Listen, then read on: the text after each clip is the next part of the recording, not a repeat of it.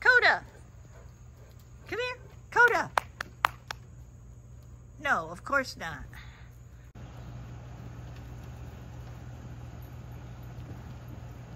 There's our Kota girl. He was out there drinking a bucket of water.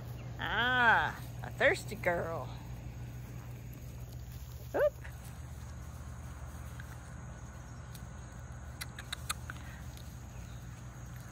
Now we're gonna probably pee or something.